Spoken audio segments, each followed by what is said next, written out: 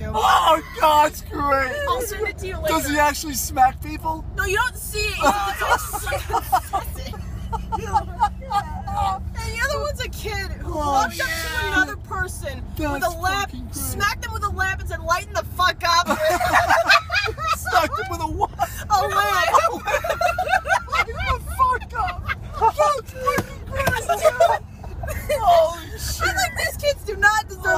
that's great, man. I'm like, these kids do not deserve detention. These are like war oh, heroes. Oh these my are God. these are genius. Lighten the fuck. Smack. Every time Oh, God. See, I love shit like that. I love shit like that. There used to be, I'll never, there used to be this commercial Oh on god. one of the sports networks. So I love shit like that. There was this, they only ran it for a little bit. It was the best fucking thing I've ever seen on a sports channel. It was, it starts out, right? Yep. It's a, it's a hockey player, you know, famous hockey player, right? I forgot who it is.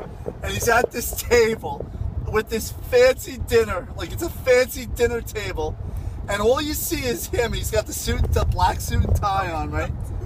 And he's all you see is him, and there's the floor is white, oh right? God. So it's just him, and it starts out it's quiet, and he's eating it. He's got like a fork. No, no words are spoken.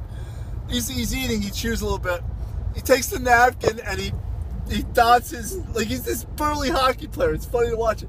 He dots his thing with the napkin. He turns to the camera and he goes, "Check, please." And like, one of the hockey players checks him right off the chair, knocks him on his ass.